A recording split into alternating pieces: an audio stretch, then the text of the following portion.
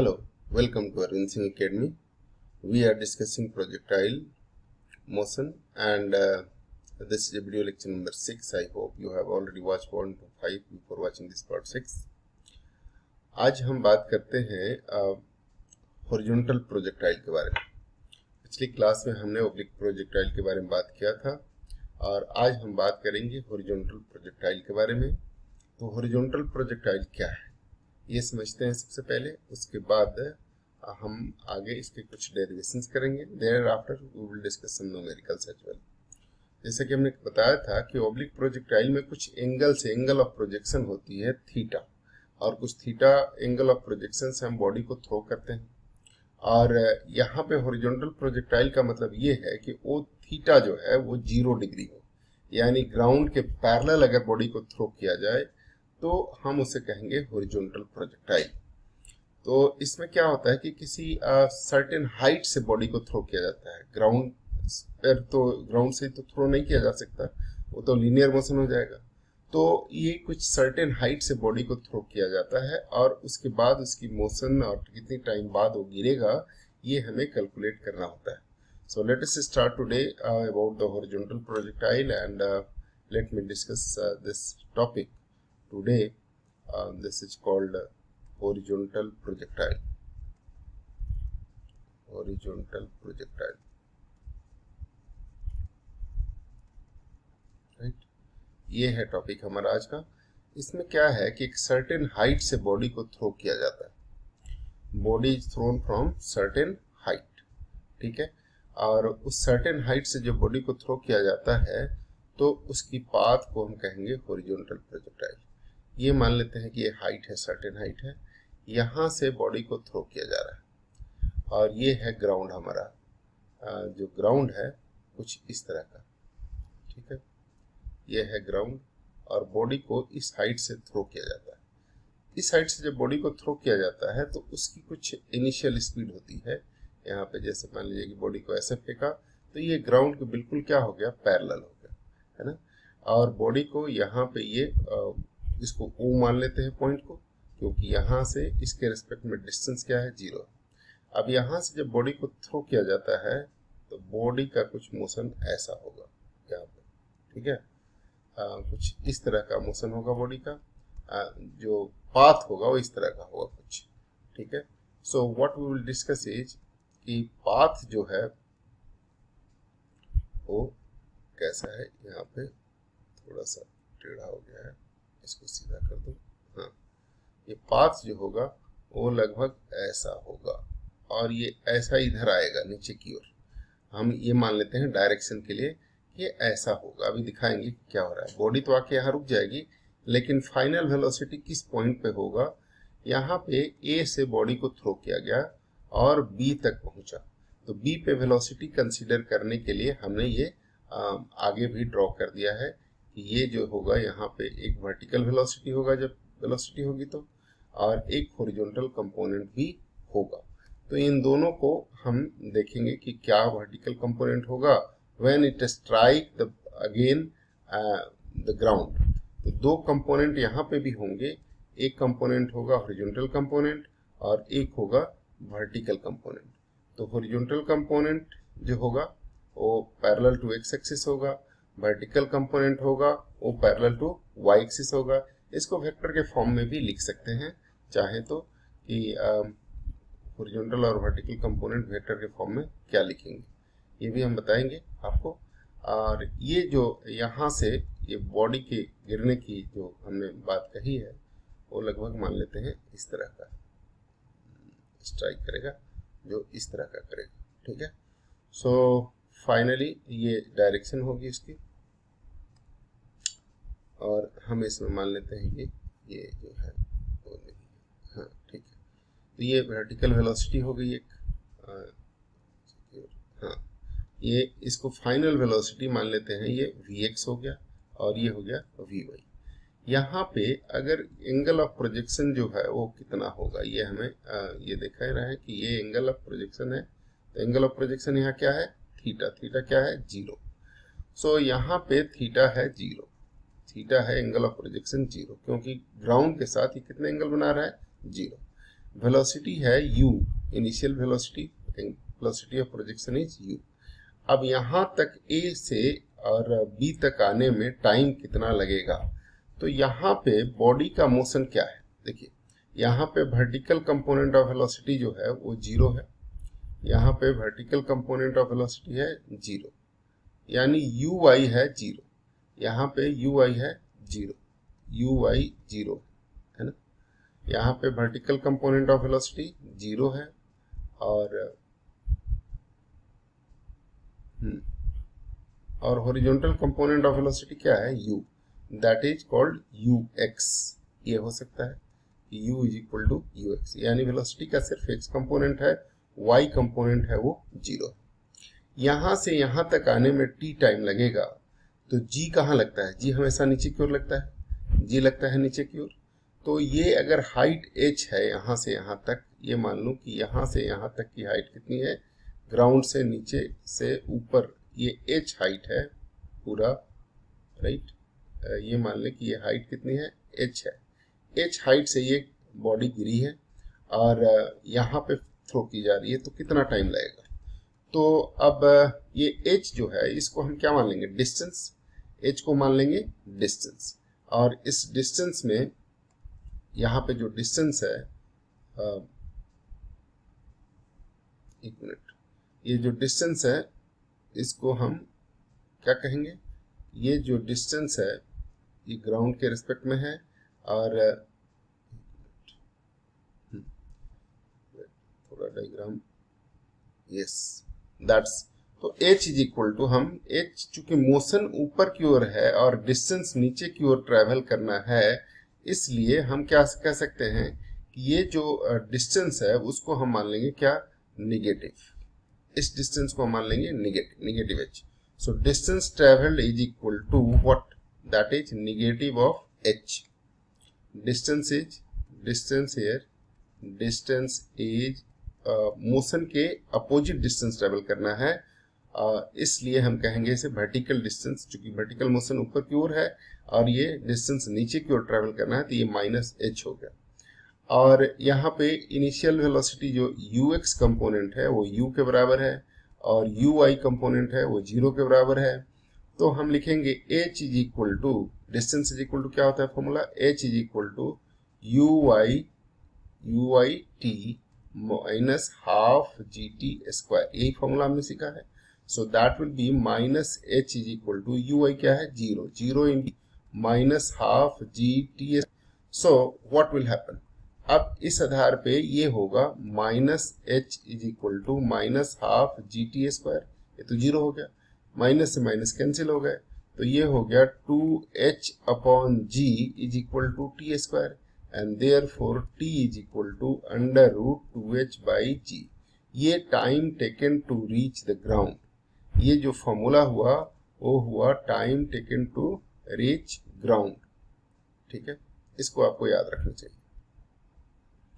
Time taken to reach ground ये formula होगा और इसको आप चाहें तो लिख भी सकते हैं कि ये है time taken to reach the ground तो this is called time of flight time of flight क्योंकि इतना ही देर ये हवा में रहेगा, और it can be also said that time to reach the ground दोनों सेम है यहाँ पे। रीच द ग्राउंड कितनी देर बाद ये ग्राउंड पे मिलेगा। तो ग्राउंड ये हो गया। आ, इस तरीके से यहाँ पे अब जो वेलोसिटी होगी इसके दो कंपोनेंट होंगे। एक अलोंग एक्स एक्सिस है और अलोंग वाई एक्सिस है। तो ऊपर में वेक्टर के जे डायरेक्शन होती है यूनिट वेक्टर नीचे माइनस जे होगा। और ये एक्स एक्सिस के अलोंग है तो इसका यूनिट वेक्टर आई है। तो यहाँ पे जो वेलोसिटी होगा एक्स कंपोनेंट वो वी एक्स आई और वी वाई जे माइनस के साथ। अब वेक्टर ये रिजल्टेंट अगर v इसका रिजल्टेंट है तो पैरेललोग्राम लॉ से हमने सीखा है, v is equal to final velocity v is equal to क्या होगा? V X square plus V Y square magnitude के हिसाब से वेलोसिटी वेक्टर ये निकलेगा, क्योंकि वी क्या होगा? यहाँ पे फाइनल वेलोसिटी होगा V X I minus V Y J ये होगा वेलोसिटी और इसका मैग्नीट्यूड निकालेंगे तो ये होगा modulus of v is equal to this होगा एक्स आई के कंपोनेंट तो ये फाइनल वेलोसिटी जो होगा वो इस तरह का होगा। फाइनल वेलोसिटी जो होगा वो इस तरह का होगा। और वेलोसिटी का कंपोनेंट निकालने के लिए आप ये तरीका अपना सकते हैं। ठीक है? आ, अब यहाँ पर ये जो वी एक्स और Vy का मैग्नीट्यूड है, वो कितना होगा? ये हम अगर कैलकुलेट करना चाहें कि इसका मैग्नीट्यूड कितना होगा तो क्या होगा बताएँ? तो इसका मैग्नीट्यूड निकालने के लिए वी एक्स जो होगा, वो कितना होगा? तो ये यू एक्स के बराबर ही होगा, क्योंकि horizontal component of velocity change नहीं होती, और यू एक्स के बराबर ये होगा तो ये Ux ही कह सकते हैं इसको। वी वाई जो होगा, वो कितना होगा? तो ये होता है V Y is equal to V is equal to क्या होता है? यू प्लस ए टी तो U Y plus G T ये होगा यहाँ पे। तो U Y plus G T का मतलब ये कंपोनेंट हो गए दो। V Y is equal to U Y plus G T और V X is equal to U X इसलिए v की वैल्यू क्या होगी? Therefore V is equal to under root आप चाहे तो लिख सकते हैं। ये सारा कि यू एक्स का स्क्वायर यू एक्स का square plus V Y plus G T का होल स्क्वायर ये दोनों के लिए ही लागू होगा, चाहे ये ऑब्लिक प्रोजेक्टाइल हो, चाहे ये हॉरिजॉन्टल प्रोजेक्टाइल हो। दोनों के लिए ही ये फॉर्मूला लागू होगा। बस फ़र्क ये होगा कि जब हम हॉरिजॉन्टल प्रोजेक्टाइल की बात करेंगे, जैसे यहाँ पे बात कर रहे हैं तो वी वाई क्या हो जाएगा? ज़ीरो और एंगल कितना होगा? ये हम जिस एंगल से स्ट्राइक करेगा, अगर ये थीटा मान लेते हैं कि एंगल है तो tan theta is equal to हो जाएगा tan theta is equal to कितना? तो V Y upon V X ये होगा। ये एक निकल गया, यानी theta is equal to tan inverse V Y upon V X तो ये भी एक फॉर्मूला हो गया, जिसे आपको याद रखना चाहिए। ठीक है ना? तो ये किस एंगल से स्ट्राइक करेगा आपको, ये पता चल गया। और दूसरा कि किस वेलोसिटी से स्ट्राइक करेगा, वो भी पता चल गया। अब आइए एक नोमेरिकल करते हैं, जिसके ज़रिए हम समझने की कोशिश करते हैं कि इस सवाल का क्या मतलब हो। नोमेरिकल ये है कि hiker stands on the cliff of 490 metre above यानी एच दिया है 490 metre above the ground throw a stone horizontally with speed of 15 metre per second यानी यू एक्स जो दिया हुआ है, वो 15 मीटर पर सेकेंड दिया है। Neglecting air resistance find the time taken by stone to reach the ground अगर हम शॉर्टकट से इसे निकालें तो क्या लिखेंगे? Time taken to reach the ground is equal to under root two H by G यही फॉर्मूला सीखा है आपने। तो इसलिए आप लिख देंगे कितना? Two into four ninety height और जी है नाइन पॉइंट एट लेना था। ये पॉइंट हटाएँगे तो ऊपर ज़ीरो हो जाएगा। और नाइन्टी एट से नाइन्टी एट कट जाएगा तो इन हो जाएगा हंड्रेड हंड्रेड का मतलब हो गया टेन सेकेंड्स तो ये हुआ कि टाइम टेन सेकेंड्स बाद नाउ क्वेश्चन में जब स्पीड भी निकाले speed by which it strike the ground so we can calculate it यहाँ पे एक्स जो होगा, वो क्या होगा? एक्स के बराबर होगा, जो 15 मीटर पर सेकेंड दिया हुआ है। और वाई जो होगा, वो होगा Y plus G T that is Y तो ज़ीरो है। तो यहाँ पे इनिशियल वर्टिकल कंपोनेंट ज़ीरो है तो यहाँ पे जी टी होगा। जी का मतलब 9.8 point eight into ten that is 98 metre per second so so, v क्या होगा फॉर्मूला के हिसाब से? आप v इज़ इक्वल टू लिख सकते हैं अंडर रूट नाइनटी का स्क्वायर वी एक्स का स्क्वायर प्लस वी वाई का स्क्वायर ये हो गया अप्रोक्स 99 मीटर पर सेकेंड ये आंसर आ गया. इस तरीके से कर सकते हैं. लेकिन स्कूल में अगर करना होगा तो आपको जैसे हमने डेरिवेशन किया है वैसे ही सॉल्यूशन भी करना पड़ेगा. ये देखिए कैसे करेंगे? यहाँ पे लिखेंगे h is equal to minus four metre और वी वाई क्या है? यू आई क्या है? यू आई है ज़ीरो और यू एक्स क्या है? Fifteen meter per second so using the formula h is equal to minus h is equal to क्या लिखेंगे? वैसे ही। बताइए। U i t minus half g t square अब ये हो गया four nine t is equal to ये तो ज़ीरो है टी माइनस हाफ़ और ये 9.8 point eight into t square ये कट गया 4.9 से, और ये 4.9 ये दोनों माइनस कैंसिल हो गए। तो 490 is equal to 4.94 t square is equal to 100 ये इधर आके डिवाइड हो गया। And therefore t is equal to 10 seconds 10 seconds ये आ गया। उसके बाद वेलोसिटी को फिर उसी तरह से निकाल देंगे, और जैसे यहाँ निकाला है, बिल्कुल सेम उसी तरह से तो ये भी आंसर हो जाएगा। जैसे हमने वहाँ निकाला, वैसे यहाँ भी निकाल सकते हैं। तो ये क्वेश्चन आप अगर फॉर्मूला से करना चाहें तो फटाफट हो जाएगा। आप आराम से कर सकते हैं। अगर आप कंपटीशन में करते हैं तो ये सारी आपको इस्तेमाल करने की ज़रूरत नहीं है। आप ओरली भी कैलकुलेट कर सकते हैं कि ये फिफ्टीन है और ये u प्लस जी टी है। यू आई जो है ज़ीरो है तो जी इंटू टी मतलब nine point eight into ten ninety eight हो गया। नाइनटी एट का स्क्वायर प्लस टेन का square it is approximately ninety nine square so that will be answer I hope you got it है ना? तो इस तरीके से हम कुछ न्यूमेरिकल्स कर सकते हैं। आइए कुछ और देखते हैं। कुछ और न्यूमेरिकल्स और कुछ और एग्जाम्पल्स देखते हैं। न्यूमेरिकल की बात आई है तो यहाँ पे लिखा है क्वेश्चन है कि गैलीलियो ने कहा था Galileo in his books two new sciences stated that elevation which exceeds or falls short by 45 degree is equal amounts, the ranges are equal. यानी हॉरिजॉन्टल रेंज की बात कह रहे हैं तो अब इसका सॉल्यूशन कैसे होगा? तो सॉल्यूशन के लिए हम मान लेते हैं कि let theta be theta be an angle by which it uh, exceeds it exceeds or falls short by 45 degree by 45 degree. Then angle of projections are, angle of projections are projections are, क्या क्या होंगे? एक 45 degree से theta exceed कर रहा है तो 45 plus theta and 45 degree से थीटा शॉर्ट कर रहा है तो 45 माइनस थीटा ये होगा। तो इन दोनों के हॉरिजॉन्टल रेंज जो है, वो इक्वल है, ये बात प्रूफ करनी है। तो let R one and R two be the horizontal range let R1 and R2 be the corresponding be the corresponding horizontal range corresponding horizontal range horizontal range for two angle of projection two different angle of projection different angle of projections. Angle of projections ठीक है ना? तो ये होगा कि दो R one R two तो R one is equal to क्या होगा? फॉर्मूला होता है एंगल ऑफ़ प्रोजेक्शन का R is equal to u square sine theta by g, है ना? ये होता है। तो u square sine two theta by g, ये होता है एंगल ऑफ़ प्रोजेक्शन का हॉरिजॉन्टल रेंज का formula. So here R one is equal to क्या होगा?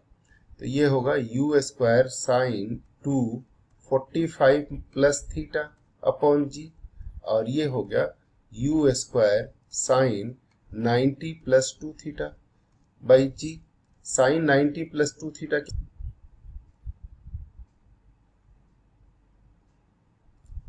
plus theta होता है कॉस थीटा सो ये हो जाएगा कितना? Cos two theta cos two theta by g और आर टू क्या होगा? आर टू होगा यू स्क्वायर ये है sine two forty five minus two theta forty five minus theta ये दूसरा एंगल ऑफ़ प्रोजेक्शन है अपॉन जी तो ये भी हो गया कितना? यू स्क्वायर साइन टू से मल्टीप्लाई करेंगे तो 90 minus two theta by g is equal to क्या हो गया? Sine 90 minus theta is also cos theta तो cos two theta by g so clearly r1 is equal to r2 clearly r1 is equal to r2 that is, two ranges are equal. Ranges are equal. ठीक है? यही proof करना था। उम्मीद है कि आप ये समझ गए होंगे, इसमें कोई दिक्कत वाली बात नहीं होगी। ओके आइए, अब जितना हमने सीखा है, उसका एक एप्लीकेशन सीखते हैं। A cricket ball is thrown with speed of 28 meter per second in direction of 30 degree above the horizontal. Calculate the maximum height, time taken by ball to return the same level that is time of flight and distance from thrower uh, the point where which the ball returns that is horizontal range. तो तीन चीज़ें इसमें निकालनी है हम इसको आ, कैसे करेंगे आ, वो देखते हैं ठीक है तो इस क्वेश्चन को करने के लिए आपको फॉर्मूले इस्तेमाल करना होगा आंसर देखो यहाँ पे क्या क्या दिया हुआ है इनिशियल स्पीड दिया हुआ है u is equal to 28 meter per second और थीटा कितना दिया हुआ है? एंगल ऑफ़ प्रोजेक्शन 30 डिग्री ठीक है? निकालना क्या है? हमें निकालना है time of flight horizontal range और क्या निकालना है? मैक्सिमम हाइट ये तीन चीज़ें निकालनी। तो we know formula time of flight का क्या होता है? टाइम ऑफ़ फ़्लाइट का होता है two u sine theta upon g तो यहाँ हो गया टू यू का मतलब twenty eight sine thirty degree का मतलब हाफ़ अपॉन जी का मतलब नाइन पॉइंट एट ये भी कैलकुलेट कर सकते हैं नाइन पॉइंट एट सुविधा के लिए यहाँ पे नहीं लिखा है तो हम टेन ले लेते हैं। जी को कितना ले लेते हैं? टेन टेन ले लेने में कोई बुराई नहीं है तो अभी हम टेन ले लेते हैं। नहीं दिया हुआ है सुविधा के लिए। तो ये कट जाएगा टू से two two point by ten that is two point eight second के बाद वो ज़मीन पे स्ट्राइक कर लेगा दूसरा जो है हॉरिजॉन्टल रेंज के लिए तो हॉरिजॉन्टल रेंज क्या होता है तो ये होता है यू स्क्वायर साइन टू यानी ये हो गया ट्वेंटी एट का square twenty eight square into sine two theta sine sixty degree हो गया that is root three by two upon g क्या हो गया? टेन। तो ये हो गया twenty eight into twenty eight into root three divided by two into ten अब ये टू से ये फोर्टीन टाइम्स कट गया, और ये आप लिख सकते हैं फोर्टीन एट या कितना होगा? ये कैलकुलेट करेंगे तो ये कल सो ये कैलकुलेट करेंगे आप तो ये आ जाएगा अप्रोक्सीमेटली रूट थ्री की value one point seven three two लिख देंगे और ये मल्टीप्लाई कर देंगे टेन से डिवाइड करेंगे तो ये आ जाएगा sixty seven point eight eight meter approx तो ये हो गया हॉरिजॉन्टल रेंज ये हॉरिजॉन्टल रेंज हो गया। अब हमें निकालना है मैक्सिमम हाइट तो मैक्सिमम हाइट का फॉर्मूला क्या होता है जी? Maximum height height uh, h is equal to u square sine square theta upon g होता है। तो ये हो जाएगा u साइन थीटा का होल स्क्वायर भी लिख सकते हैं upon g u sine theta क्या हो गया? 28 u है और साइन 30 डिग्री है। ना? Sine 30 degree divided by g और ये स्क्वायर है। तो आप इसको लिख सकते हैं कितना? Twenty eight one by two upon ten ये अभी हम ले रहे हैं। तो ये हो गया फोर्टीन कैंसिल होके स्क्वायर है तो फोर्टीन का स्क्वायर कितना होता है? वन नाइनटी सिक्स फोर्टीन का स्क्वायर वन नाइनटी सिक्स हो गया डिवाइडेड बाई टेन तो 196 डिवाइडेड बाई 10 यानी 19.6 मीटर की हाइट तक ये जाएगा। तो ये आसानी से आप फॉर्मूला लगा करके और न्यूमेरिकल को कर सकते हैं। और मुझे उम्मीद है कि इसमें आपको कोई दिक्कत नहीं होगी। और आप फॉर्मूला एक बार याद कर लेंगे तो आपको पता चल जाएगा कि क्या क्या निकालना है और उस तरह से आप आसानी से निकाल सकते हैं। यहाँ देखिए लिखा ही हुआ है, मैक्सिमम हाइट निकालना है। दैट इज़ ए हमने ए बाद में निकाल दिया। ए सेक्शन यहाँ पे निकाला है हमने मैक्सिमम हाइट। उसके बाद यहाँ पे कह रहा है कि निकालना है क्या? The time taken to return the same level that is time of flight तो ये था पार्ट बी और, उसके बाद निकालना है the distance thrower point where ball is return at the same level यानी फेंका गया तो वापस कहाँ पे स्ट्राइक करता है? दैट इज़ पार्ट सी तो ये कोई भी पहले कोई भी बात निकाल सकते हैं, सब इंडिपेंडेंट फॉर्मूला है, और एक दूसरे से अलग है, कोई भी पहले कोई भी बाद में निकाल सकते हैं। हमने पहले बी निकाल दिया सी निकाल दिया, उसके बाद ए निकाल दिया, कोई भी पहले कोई भी बाद में किया जा सकता है। तो ये फॉर्मूला याद रखने पे बड़ा ही आसान सा सवाल है है ना? उम्मीद है कि आपको मज़ा आया होगा। ठीक है? आइए कुछ और एक दोनों मेरिकल कर लेते हैं। तो ये देखते हैं कि cricketer can throw a ball to maximum horizontal distance of 100 meter maximum horizontal distance कब होता है? जब थीटा कितना होता है? 45 डिग्री होता है। How much high the ball can be can the cricketer throw the same ball तो मैक्सिमम हॉरिजॉन्टल डिस्टेंस जो है, वो फॉर्मूला होता है कितना मैक्सिमम हॉरिजॉन्टल डिस्टेंस के लिए? यू स्क्वायर अपॉन जी क्योंकि थीटा अगर हम 45 डिग्री लेते हैं तो ये 2 इंटू फोर्टी क्या हो जाता है? 90 डिग्री और 90 डिग्री होने से ही क्या हो जाता है? 1 साइन 91 होता है। तो आर मैक्स होता है यू स्क्वायर अपॉन जी यहाँ पे हम फॉर्मूला इस्तेमाल कर लेंगे कि यहाँ सॉल्यूशन लिखते हैं। ठीक है? R max is equal to यानी horizontal maximum u square upon g होता है। यहाँ पे दिया हुआ है 100 मीटर और यू स्क्वायर अपॉन जी की वैल्यू हम ले लेते हैं कितना? नाइन पॉइंट एट ही ले लेते हैं, कोई बात नहीं नहीं लिखा है। जैसे टेन भी ले सकते हैं, लेकिन हम ले लेते हैं नाइन पॉइंट एट तो यू स्क्वायर क्या हो जाएगा? ये हो जाएगा नाइन पॉइंट एट यानी ninety eight into ten nine hundred and eighty meter per second तो u हो जाएगा under root nine eighty meter per second ठीक है ना? Under root nine eighty meter per second ये u हो गया। अब बताना है how much high the ground can the cricketer throw the ball तो हमें निकालना है maximum height so maximum height is equal to maximum height h is equal to h निकालना है। यहाँ पे अंडरस्टूड है कि थीटा कितना है? 45 डिग्री है। ठीक है ना? आर मैक्स के लिए थीटा कितना होता है? 45 डिग्री ठीक है? ये पता। है तो मैक्सिमम हाइट का फॉर्मूला क्या होता है? मैक्सिमम हाइट का फॉर्मूला होता है u square sine square theta upon g तो u square sine square theta upon g sine square theta upon g अब देखिए यू स्क्वायर कितना है? 980 यहाँ से 980 सीधे लिख देता हूँ। और साइन स्क्वायर थीटा क्या हो जाएगा? साइन स्क्वायर 45 डिग्री और जी कितना? 9.8 अब 9.8 लिखेंगे तो क्या हो जाएगा? 9.8 से कटेगा। तो कितने बार में कटेगा? ये 100 बार में कटेगा। 100 और ये पूरा कट के 100 हो गया। साइन 45 की value one by root two होता है उसका स्क्वायर, यानी two one by two that is 50 meter की हाइट वो अटेंड करेगा। तो मैक्सिमम हाइट जो अटेंड करेगा, वो 50 मीटर करेगा। तो ये आंसर हो गया। मुझे नहीं लगता इसमें आपको कोई दिक्कत है। ठीक है ना?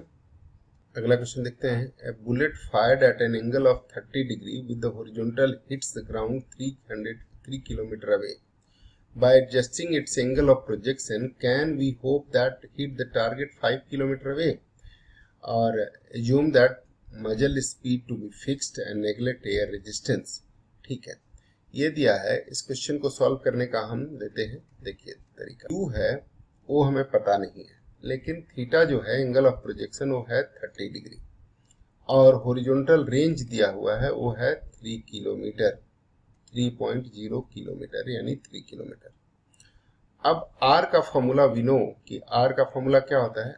R is equal to u square sine two theta upon g ये होता है। R u square sine two theta upon g ये आपको पता है। तो यहाँ पे आर का मतलब u square sine two theta upon g अब यहाँ पे आप आर की वैल्यू रख सकते हैं। देखिए ध्यान से। तो यहाँ पे क्या होगा? आर जो है वो थ्री किलोमीटर है। और ये यू स्क्वायर जो है, वो कितना हो गया? वो मालूम नहीं। साइन सिक्सटी डिग्री यानी root three by two thirty degree है theta two theta sixty degree sine sixty की value root three by two into g जी इधर आके मल्टीप्लाई हो गया। तो u square is equal to ये रूट थ्री से ये three root three times cut जाएगा, है ना? तो ये हो जाएगा u square is equal to two root three g ये टू इधर आके मल्टीप्लाई हो जाएगा, टू रूट थ्री जी ये होगा यू स्क्वायर जी की वैल्यू आप नाइन पॉइंट एट रख सकते हैं, आगे ज़रूरत पड़ेगी तो रखेंगे, नहीं तो ऐसे ही कैंसिल हो जाएगा तो देख लेंगे. अब क्या है? हमें निकालना है कि क्या हम थीटा को एडजस्ट करके फाइव किलोमीटर की रेंज तक पहुँच सकते हैं. तो थीटा जो है, वो हम 45 डिग्री मैक्सिमम ओरिजेंटल के लिए R is max is equal to क्या हो सकता है? R max is u square upon g होता है। तो यू स्क्वायर कितना हो गया? Two root three g upon g बोलिए यू स्क्वायर की वैल्यू रख दिया। जी से जी कट गया। टू रूट थ्री किलोमीटर तक जा सकता है। टू रूट थ्री का मतलब हुआ two point, two into one point seven three two. That is ये हो गया sixty four and thirty four तो थर्टी फोर यानी three point four six four kilometre less than five kilometre जा सकता है। यानी इवन थीटा को हम एडजस्ट भी कर लेंगे मैक्सिमम हॉरिजॉन्टल रेंज भी ले लेंगे, तब भी वो पाँच किलोमीटर के टारगेट को हीट नहीं कर सकता। तो आंसर हो गया no it can not hit can't be hit target of distance, target at distance 5 kilometer 5 kilometer. कोई दिक्कत नहीं है। मुझे उम्मीद है आपको बहुत अच्छी तरह से ये बात समझ में आ गई होगी और इसमें कहीं कोई आपको परेशानी नहीं हो रही होगी। है ना? हो रही है क्या परेशानी? बहुत आसान सा फॉर्मूला है और फॉर्मूला को सिर्फ़ अप्लाई करना है और जैसे ही आप फॉर्मूला अप्लाई करेंगे, आपका आंसर आ जाता है। तो बस तीन फॉर्मूले याद रखने हैं। इक्वेशन ऑफ़ ट्रेजेक्ट्री वगैरह पे भी क्वेश्चन होती है। लेकिन अभी पहले इस फॉर्मूले के आधार पे जो कुछ न्यूमेरिकल था, वो हमने किया। अगली क्लास में फिर मिलते हैं।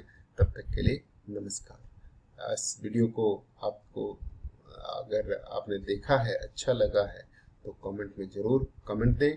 और जो भी अगर ख़राब भी लगा है, तब भी आप लिख सकते हैं कि आपको क्या ख़राब लगा, उसको हम निश्चित रूप से आगे सुधारेंगे। और अगर अभी तक आपने ये चैनल सब्सक्राइब नहीं किया है तो subscribe it or press bell icon as well so that you will get a notification as soon as the video will be uploaded. So thank you very much for watching this. God bless.